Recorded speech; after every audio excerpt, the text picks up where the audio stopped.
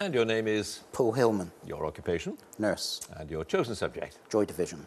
Joy Division in two minutes. Here we go. Joy Division were one of the pioneers of post-punk music in the late 70s. These Days was the B-side to their only UK top 20 hit. What was the single? Transmission. Love Will Tear Us Apart.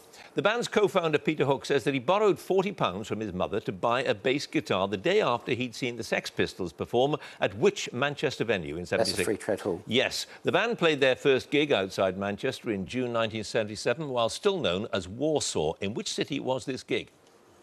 Newcastle. Yes, the band's debut release was an EP that came out in June 1978 on the Enigma label. What was its title? An Ideal for Living. Yes, at which disco in Manchester did the band play their first gig under the new name of Joy Division on 25th January 1978? Pips. Yep, Ian Curtis committed suicide in May 1980. The band's second and final studio album was released shortly after in July. What was it called? Closer.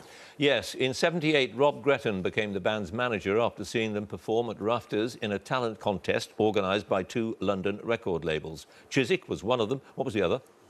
Stiff. Yep.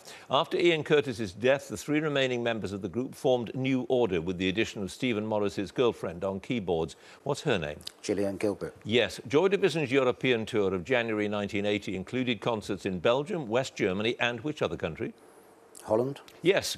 Which of the band's tracks start here, here, everything is by design, everything is by design? Pass. In January 1979, the group recorded four songs for their debut on The John Peel Show. Three of the songs were Exercise One, Insight and Transmission. What was the fourth? She's lost control. Yes, who designed the cover of the band's first album, Unknown Pleasures? Peter Saville. Correct. In early 81, New Order released a pair of Joy Division tracks as their first single. One was Ceremony. What was the other? In a Lonely Place. Yes, the two sides of Unknown Pleasures were titled Inside and Outside. She's Lost Control was the opening track of Inside. What was the opening track of Outside? Disorder. Yes. What's the name of the journalist and champion of the band who co-wrote Ian Curtis's obituary in the NME with Adrian Thrills? Paul Morley. It is correct. You had uh, just one pass, Paul. The uh, track that starts here, here, everything is by design, everything's by design, is auto-suggestion. You've scored 13 points.